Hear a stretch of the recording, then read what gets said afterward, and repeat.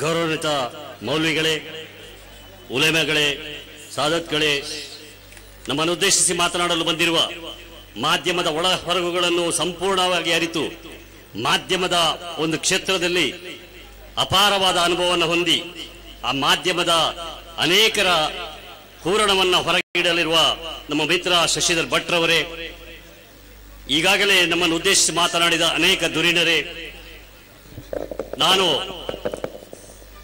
ದೂರದ ಸುಳ್ಳ್ಯದಿಂದ ಬಂದಿದ್ದೇನೆ. ಬರುತ್ತಿರಬೇಕಾದ್ರೆ ನನಗೆ ಸುಮಾರು ಒಂದು ಮುಕ್ಕಾಲು ಗಂಟೆ ಪ್ರಯಾಣ ಮಾಡಬೇಕಾಯಿತು.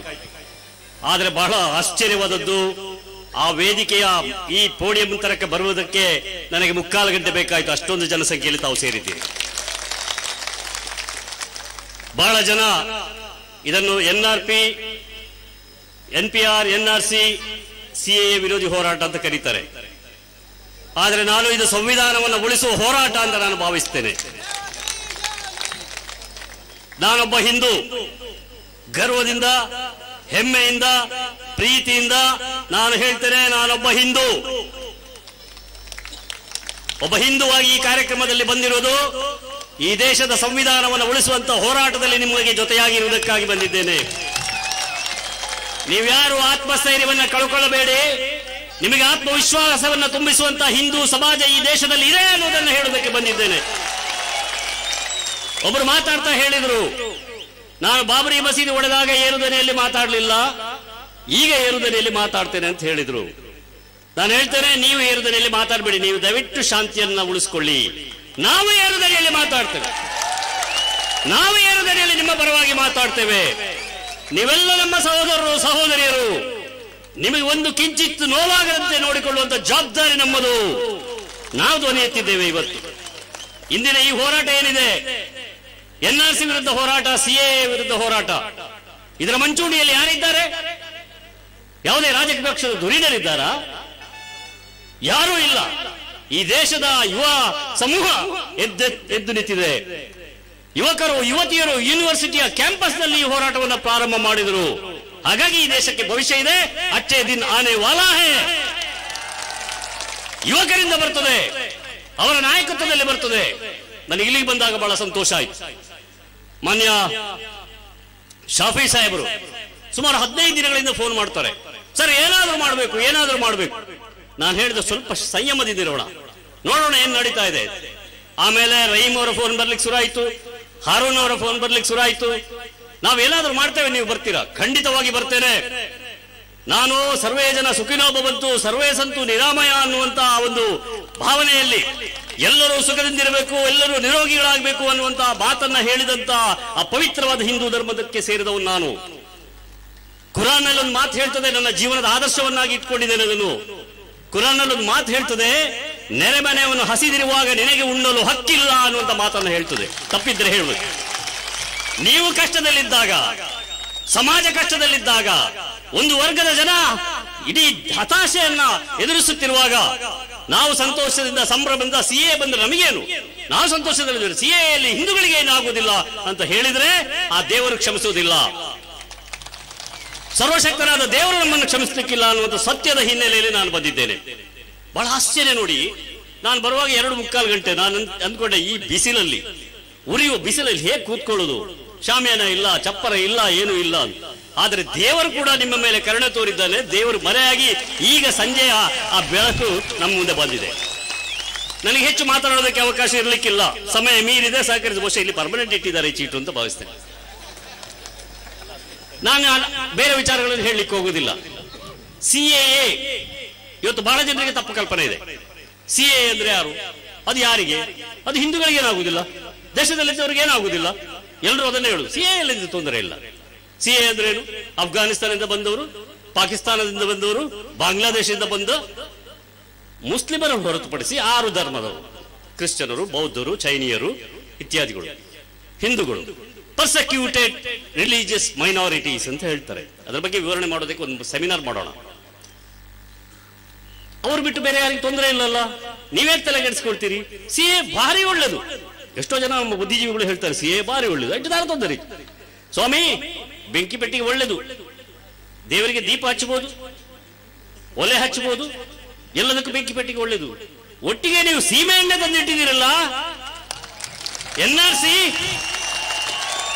ಬೆಂಕಿ ಪೆಟ್ಟಿಗೆ ಮತ್ತೆ ಸೀಮೆ ಎಣ್ಣೆ ಎರಡು ಇಟ್ಟಿದ್ದೀರಲ್ಲ, ಯಾಕದು? ನಮಗೆ ಅದು ಅರ್ಥ ಆಗ್ಬೇಕು. ಎನ್ ಆರ್ ಸಿ ಯಾಕೆ? N P R. ನನಗೆ ಹೆಚ್ಚು ಮಾತಾಡ್ಲಿಕ್ಕೆ ಅವಕಾಶ ಇಲ್ಲದ್ರಿಂದ ಕೆಲವೇ ಮಾತುಗಳನ್ನು ನಿಲ್ಲಿಸ್ತೇನೆ. ಇಲ್ಲಿ ಪಕ್ಕದಲ್ಲಿ ನೀರು ಮಾರ್ಗದಲ್ಲಿ ಒಬ್ಬರು ಆನ್ಸಿ ಆನ್ಸಿ ಡಿಸೋಸ ಅಂತ ಇದ್ದಾರೆ. ನನಗೆ ಫೋನ್ ಮಾಡ್ತಾ ಇರ್ತಾರೆ. ಅವರಿಗೆ ಪ್ಯಾರಾಲಿಸಿಸ್ ಆಗಿದೆ ಪಾಪ.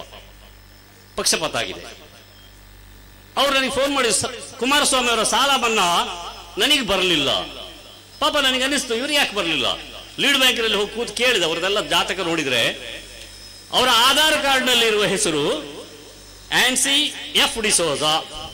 ರೇಷನ್ ಕಾರ್ಡ್ನಲ್ಲಿ ಆನ್ಸಿ ಡಿಸೋಜ ಒಂದು ಎಫ್ ಬಿಟ್ಟು ಹೋಗಿದೆ.